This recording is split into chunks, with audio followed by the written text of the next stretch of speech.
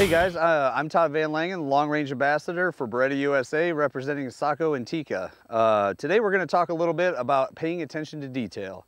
For those folks that know me, they know that's been one of the biggest challenges in my entire life is uh, having ADD as a child and as an adult, and uh, furthermore having brain injuries on top of it from, uh, from downrange. It can make for a challenging thing when you're shooting precision rifle. Everything you do in the precision rifle uh, realm requires attention to detail, hand loading, dope gathering, trigger pulling, target acquisition, everything, everything you do requires attention to detail. And uh, some of the finer points sometimes get glossed over. And in the heat of things, competition, taking down an animal, or in a tactical situation, sometimes we, we, we tend to forget things and uh, little errors at the gun can be huge catastrophic errors at the target. Uh, quick story, uh, the hostage rescue unit that I was in, uh, uh part of our template was uh, snipers would infiltrate prior to uh, you know the mission going down and do recon. And we would be ready to if bad guys were at the target moving around doing their thing or whatever when the assault force came in it was our job to eliminate the the, the sentries before the assault force could get into the building.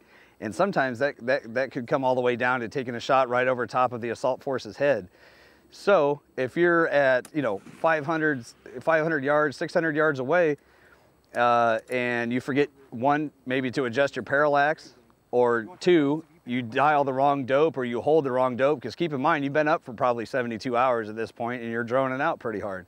Everything matters. If you're off by two mils you, you might shoot one of your buddies or you know you're going to miss that deer or whatever the target is that you're that you're uh, that you're going after. That attention to detail is so critical. Everything from uh, from making sure everything's torqued to spec making sure all your ammo is loaded properly man, making sure that your dope is, uh, uh, you're, you're taking all your atmospherics in and going over stuff. And, and for me, I, ha I have a mental checklist that I have to go through. And sometimes I even write it down.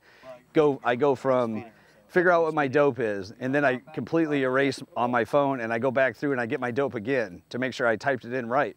Instead of 500 yards, I, I don't know how many times I've been in a match and I've been in meters being a military guy and oh 500 meters that's way that's way different than 500 yards and uh, it could mean a miss a lot of times and I've done that several times. So I have a checklist and I go back and I redo everything once or twice to make sure that I'm doing it properly and you'd be surprised how many times you catch yourself slipping.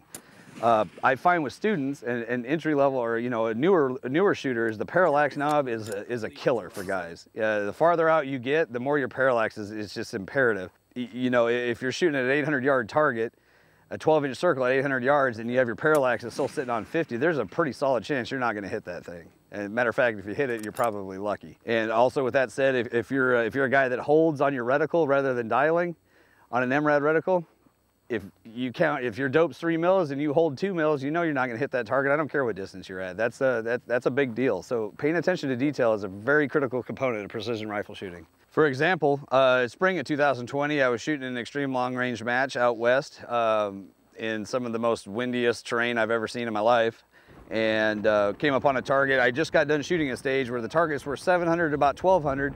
This stage, they were 1800 to 2100. And uh, parallax at that point is just set at infinity, of course. I don't know of any scopes that go up that high, but uh, what I did was my little dope card holder that I have on the side of my gun here, I had failed to put my new dope in there. So I started dialing dope and I was hitting 50 feet below, literally 50 to 100 feet short of the target. I couldn't figure out why. And that's because I didn't pay, I was so wrapped up in being 60 mile an hour crosswinds that I had forgotten and now my elevation was ruined. My windage was awesome. Wind calls were great. I was just, I was way short, so it didn't work out very well. But uh, yeah, attention to detail is the key to, key to success. I'm Todd Vanlangen, uh, Long Range Ambassador for Beretta USA, representing Sako and Tikka. And always remember, there's no such thing as advanced shooting there's only the basics mastered.